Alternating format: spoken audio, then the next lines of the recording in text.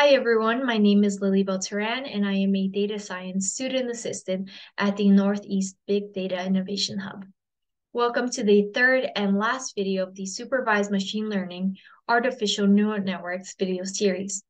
If you missed the first two videos, please refer to the NebHub's YouTube channel to watch the previous content. Now we will review multi-layer feed-forward networks. This slide briefly explains how we can assemble multiple perceptrons, activation units into multiple layers to build a deep neural network. When we have more than two layers, including output layers, hidden layers, and input layers, it is called a deep network. Each neuron in the first hidden layer takes a weighted sum of the inputs and passes it through an activation function, such as a sigmoid or ReLU, to produce an output.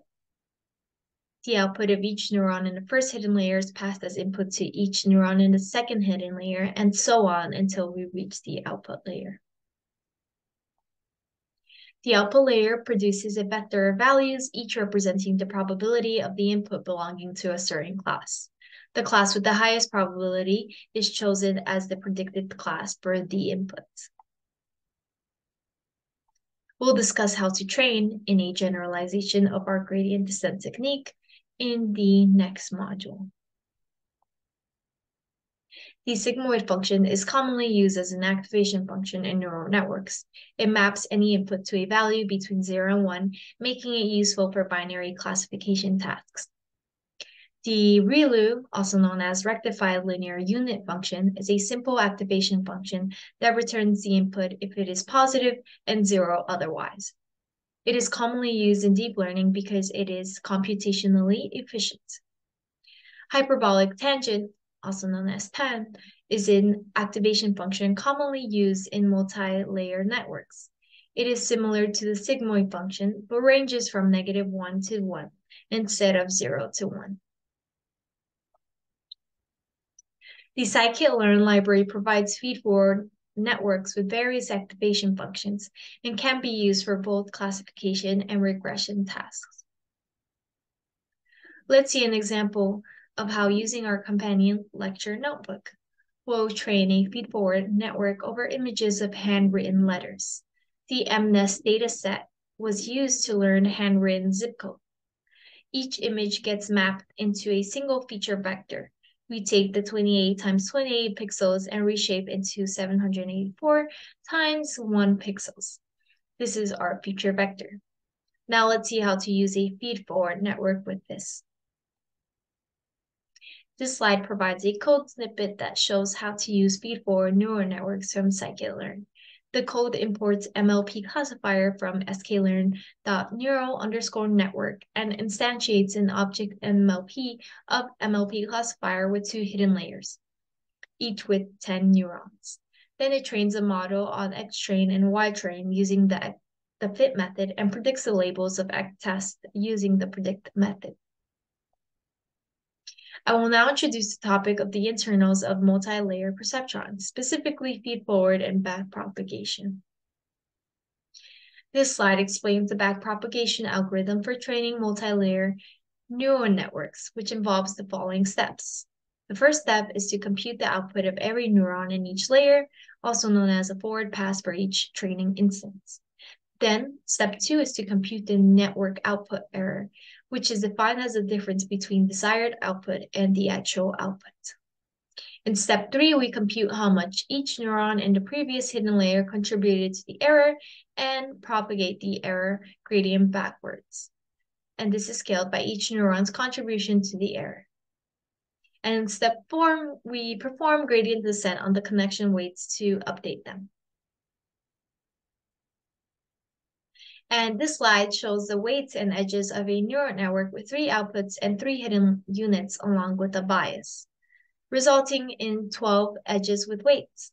It also shows the weights and the edges for the first layer, which has two inputs along with a bias and three hidden units, resulting in nine edges with weights. The, this process is known as feed forward. This slide explains the process of computing the error and backpropagation in a neural network.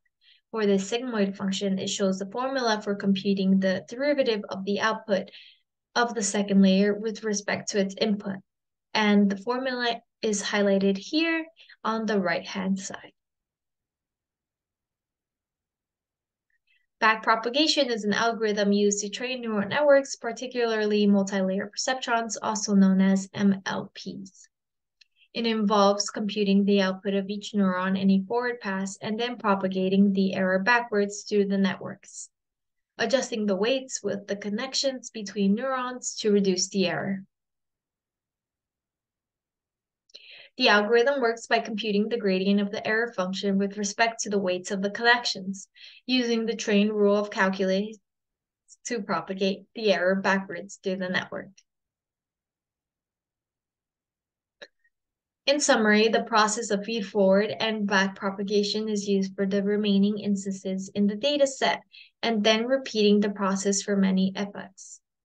This is a summary of the training process for a multi-layer neural network using feed-forward and backpropagation algorithm.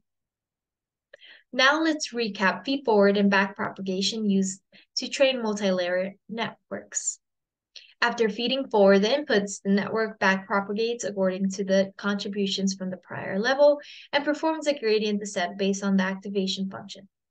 We can use the same gradient descent algorithms as previously discussed, such as full gradient descent, mini batch, and stochastic gradient descent. This allows opportunities for parallelism, which we will discuss in MXNet. This slide discusses advanced topics beyond multi-layer perceptrons. It mentions two types of advanced neural networks, such as convolutional neural networks and recurrent neural networks. Uh, convolutional neural networks, also known as CNNs, work on overlapping windows of an image to learn commonly occurring higher level shapes as features and then make predictions based on compositions of those features. Recurrent neural networks, also known as RNNs, look for patterns over streams of data and are useful for language models.